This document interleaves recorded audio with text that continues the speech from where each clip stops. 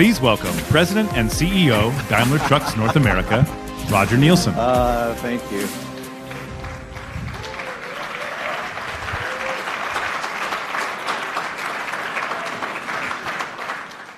Uh, since the focus of our presentation is moving to North America, I thought it was appropriate to show up up in an American icon, the, the big yellow school bus, uh, produced by our very own Thomas Built School Bus unit in High Point, North Carolina. At Daimler, we like to do our homework. Get it? Homework, schoolwork. Uh, before we announce a new initiative or a new product, so it seems like the perfect setting for me to share our homework with you while standing in front of our first generation Saf-T-Liner C2 electric bus. The Jouley e-bus is our most recent learning foray into e-mobility in North America. We set ourselves the goal to develop an electric school bus that not only works, but is also commercially viable. A school bus is the most viable use case right now in this, in this segment. It performs short trips, only morning and evening on predictable routes, it oper- and it has the time in between those routes to stop for recharging.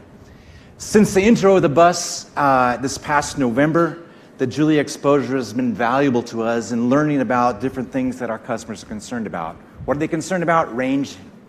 We call it range anxiety. How far can they go before the batteries are dead? We're learning how to troubleshoot uh, electric vehicles. It's different. For our service techs, the first time they service the Jouley, it takes more time to understand the technology and the system. We're learning about parasitic losses. You know, it takes a lot of energy, heating and cooling, to fill this uh, compartment full of the right temperature for the kids. Um, it uses a lot of energy, and we're learning what it takes away from range, that, that parasitic loss of energy. Um, we offer as well seven different wheelbase configurations in school buses. And so our engineers are putting together their creativity, their ingenuity, putting their heads together to figure out how we can package batteries and the powertrain in these different wheelbases without sacrificing range, without sacrificing performance.